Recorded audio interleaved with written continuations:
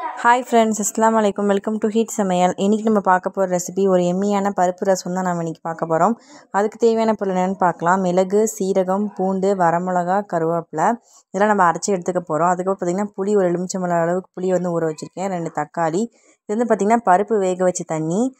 இது என்னென்ன போட்டு வேக வச்சுருக்கேன்னு பார்த்திங்கன்னா தோரம் பருப்பும் பூண்டு ரெண்டையும் போட்டு வேக வச்சு எடுத்திருக்கேன். அதுக்கப்புறம் பார்த்திங்கன்னா நம்ம கருவேப்பிலை கொத்தமல்லி எடுத்துருக்கோம். இந்த பருப்பை வந்து நம்ம தனியாக எடுத்து வச்சுருக்கோம். தனியாக நம்ம தாளிக்க போகிறோம் இதை நம்ம வந்து அரைச்சி எடுத்துக்கலாம். ஃபஸ்ட்டு ஒரு பாத்திரத்தில் வந்து வச்சுக்கலாம். ஹீட் ஆனவுடனே எண்ணெய் சேர்த்துக்கலாம்.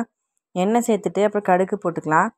கடுகு நல்லா பொரிஞ்சோடனே வந்து நம்ம அரைச்சி வச்சுருக்கோம் இல்லையா? மிளகு சீரகம் பூண்டு வரமிளகா கருவேப்பிலலாம் இருக்குல்ல அதெல்லாம் அரைச்சி வச்சது வந்து நம்ம இதில் சேர்த்துக்கலாம். அடுப்பில் வந்து சிம்மை வச்சுது இங்கே வந்து வணக்குங்க. இல்லைனா கருகிரும். நல்லா வணக்கிக்கோங்க. இப்போ வந்து மஞ்சத்தூள் சேர்த்துக்கலாம். வணக்கும் போது நல்லா பூண்டு வாசம் வந்து நல்லாயிருக்கும் வணக்கும் போது அதுக்கடுத்து வந்து நம்ம கருவேப்பிலை போட்டு வணக்கிக்கலாம். இப்போ நல்லா வணக்கிட்டு நம்ம தக்காளி வந்து ரெண்டு தக்காளி எடுத்தோம் இல்லையா? அதை நம்ம வந்து மிக்சி ஜாரில் போட்டு அரைச்சி எடுத்துருக்கோம். அதையும் நம்ம இதில் சேர்த்துக்கலாம். சேர்த்துட்டு நல்லா கலந்துக்கலாம். இப்போ கலந்துட்டு ஒரு எலுமிச்சம்பழம் அளவுக்கு புளியை வந்து நம்ம கரைச்சி வச்சுருக்கோம். அந்த புளியை நம்ம இதில் சேர்த்துக்கலாம். சேர்த்துட்டு நல்லா கலந்துக்க போகிறோம் அதுக்கடுத்து பார்த்திங்கன்னா உங்களுக்கு எந்தளவுக்கு தண்ணி தேவையோ அந்தளவுக்கு நீங்கள் தண்ணி சேர்த்துக்கோங்க.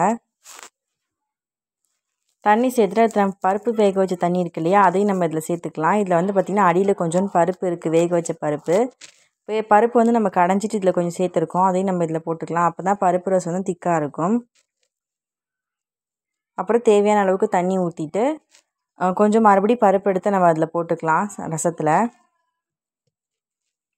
ரசத்தில் போட்டு நல்லா கலந்துக்கலாம். இந்த சமயத்தில் உப்பு செக் பண்ணுங்கள் நான் உப்பு ரசத்துக்கு தேவையான அளவுக்கு உப்பு போட்டுக்கிறேன். அதுக்கப்புறம் பார்த்திங்கன்னா கொத்தமல்லி தலை தூவிக்கலாம். இப்போ நுர வர அளவுக்கு வெயிட் பண்ணலாம். ரசம் வந்து கொதிச்சிடக்கூடாது. லைட்டாக நுர வரும்போதே ஆஃப் பண்ணிடணும். இப்போ பாருங்கள் நல்லா நுர வர்றது. இப்போ நம்ம வந்து அடுப்பை ஆஃப் பண்ணிடலாம். இப்போ வந்து நமக்கு ரசம் ரெடி ஆகிடுச்சு நம்ம அடுத்தது அந்த பருப்பு தாளிக்க போகிறோம் அதுக்கு வந்து ஒரு பேன் எடுத்துக்கலாம். பேன் எடுத்துகிட்டு நம்ம ஆயில் சேர்த்துக்கலாம். பாருங்கள் நம்ம பருப்பு தோரம் பருப்பில் வந்து பூண்டு சீரகம் போட்டு பருப்பு போட்டு நாலு விசில் விட்டு வச்சு எடுத்து வச்சுருக்கேன். பருப்பு வந்து கடைஞ்சிக்கோங்க. தண்ணியை நம்ம ரசத்தில் சேர்த்துக்கிட்டோம். இப்போ மீதி இருக்க பருப்பு நம்ம வந்து தாளிக்க போகிறோம் இப்போ நம்ம வேனில் வந்து எண்ணெய் சேர்த்துக்கலாம். எண்ணெய் சேர்த்துட்டு அடுத்து பார்த்திங்கன்னா கடுகு சேர்த்துக்க போகிறோம் கடுகு பொறிஞ்சோடனே க வரமிளகா கருவேப்பிலை வெங்காயம் மூணையும் சேர்த்து வணக்கிக்கலாம். இதில் வந்து கொஞ்சம் பெருங்காயம் சேர்த்துக்கோங்க. நானும் இதில் சேர்த்துக்கல. சேர்த்துட்டு நல்லா வணக்கிக்கோங்க.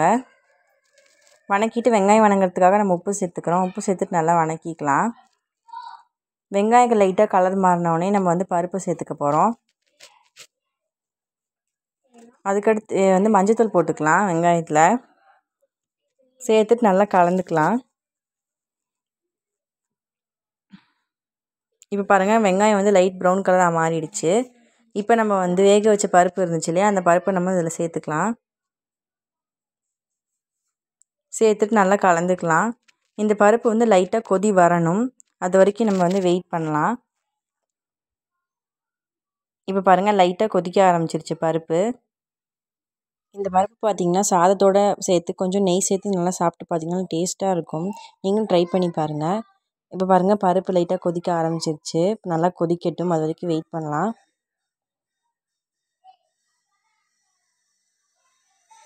பாருங்கள் நல்லா கொதிக்க ஆரம்பிச்சிருச்சு. இப்போ அடுத்தது நம்ம கொத்தமல்லி தலை தூவிக்கலாம். கொத்தமல்லி தலை தூவிட்டு நம்ம வந்து அடுப்பை ஆஃப் பண்ணிக்கலாம். சுவையான நம்மளுக்கு வந்து பருப்பு ரெடி ஆகிடுச்சு இதை வந்து சாதத்தோடு வச்சு சாப்பிட்டு பாருங்கள் நல்லா டேஸ்ட்டாக இருக்கும். நீங்களும் ட்ரை பண்ணி பாருங்கள் இது போன்ற ரெசிபிகளுக்கு நம்ம சேனலை சப்ஸ்கிரைப் பண்ணுங்கள் லைக் பண்ணுங்கள் ஷேர் பண்ணுங்கள் கமெண்ட் பண்ணுங்கள் Thanks for watching.